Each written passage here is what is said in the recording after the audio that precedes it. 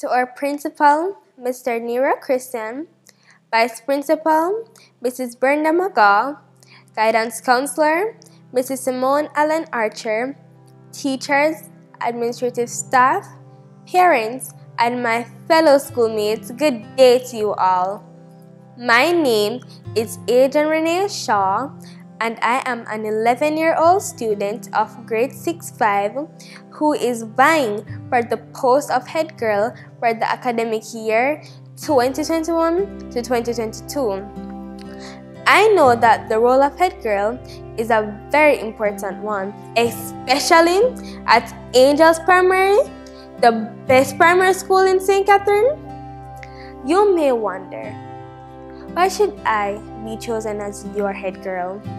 Well, based on my observation and research, the position of head girl will require the holder to display many admirable qualities such as being a team player, approachable, responsible, caring, observant, humble, honest, and being able to present Angels Primary School well based on our high standards.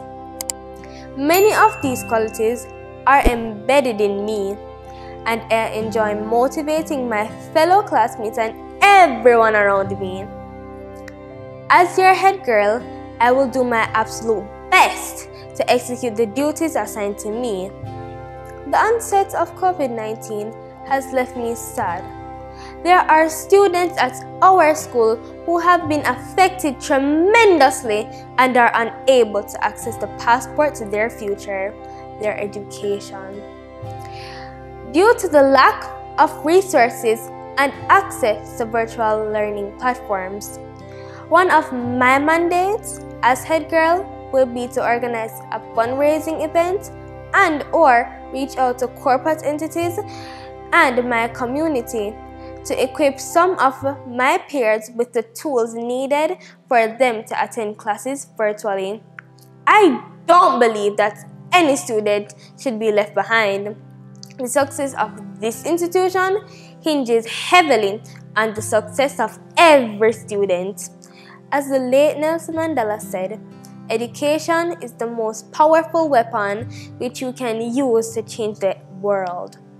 I am ready and willing to use the education that I have been blessed with by this very institution to do my best to make a change. So, but for me, Adrienne Renae Shaw to be your head girl. Have a blessed and enjoy the rest of the day.